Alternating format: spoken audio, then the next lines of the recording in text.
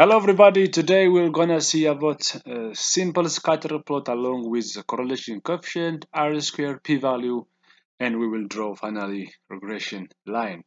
The following two package that means ggplot and ggplot are mandatory for today's tutorial, so if you haven't this package, I recommend you to install it to R Studio. If you already have, you have to call by uh, using library and then write the uh, package name in the parentheses. That means a ggplot2 and ggplot into R software. So type this and select to R Studio. And uh, before that, uh, before going to or before drawing a simple scatter plot, it's better to uh, incorporate our data. I already uh, incorporated my data or imported my, my data into R Studio in order to save our time. Here is my data name. The first uh, column is representing the GY. That means the uh, dependent uh, variable, while the pH or the planted, which stands, uh, the short form is uh, pH, and which stands for planted, it is independent uh, variable. So as all of you know that regression, whenever, whenever, just you fit regression line, uh, you have to differentiate either the uh, you have to differentiate the response variable uh, that means the dependent and the independent one. But in the case of correlation no need to be uh, bothering classifying uh, the variables. So coming to our issues so you have my data name here is uh, w is my data name which contain the plant and grain yield. So x is means an independent variable that means the pH or the plant height and the y-axis is gy that means the uh, dependent uh, variable and add the function in order to uh, give the regression line so you have to use regression dot line and you can add uh, further the color uh, I prefer here red and in case if you're interested you can choose your uh, color uh, preference. So uh, in this tutorial I select the red color and then the start uh, the correlation x is equal to 3 and the label of y is equal to uh, 34 this means the the p-value and in case if you are going to do the r square value and also the correlation coefficient will be displayed in the 34 units of the y-axis. And here the start regression uh, line means the regression line will be drawn at the y which is equal to 32 means at the uh, 32 units of the y-axis the regression equation will be shown. So if you type this you will get correlation uh, and correlation p-value as well as uh, the regression equation. So type this and submit to R Studio. Yeah. As you can see here here is r is negative 0.87 that means the relationship between the grain yield and the plant height is and negative and even uh, the relationship is uh, strong. And the p-value is 1.310 raised uh, minus 10 that means highly significant. So they are uh, negatively. The sign negative means their association is negative and it's very strong relationship. And the y is equal to 30, uh, 37 minus 5.3 x. That means for every unit increase in the plant height the yield will be decreased by 5.3 value. So this in this way you can display the R value.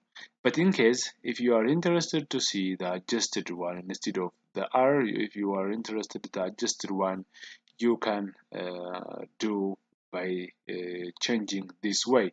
And again you have to use a GG scatter function and here is our data name is similar to that one but the difference uh, among the uh, two uh, code is in this one we are when just you are uh, only to get the r value but if you are interested and instead of r if you are using the r square value so you have to use the second one. So the second one is here is all same things are uh, similar x that means the uh, dependent variable is planted, there is uh, the dependent variable is grain yield and you can add the regression line even color is equal to blue even you, even you can make red or orange or any other color purple pink and etc and again y the level of y34 means uh, the correlation value at the 34 unit of the y-axis will be shown. And again uh, the difference here is uh, axis is labeled to past so r r means it's r square it, it, will show r square value. P level means it will uh, show you the uh, p uh, value. And again also you can draw the regression equation at the 32 units of the y axis. So if you type this you will get r square value instead of r. So type this and submit to RStudio. Don't forget W is our data name, X axis is the one with independent variable, and the Y the Y which calls so GY means is the dependent variable. So type this and submit to RStudio. So you will get instead of R, you will get the adjusted or the R square value. All things are the same except what the R value. The previous one is around 0.85 but here is 0.75 so r square is uh, it's a very uh, good uh, indicator how uh, your data is fit for regression line. So most of the time uh, uh, large r square value is very good. That means your data is fit for the regression line.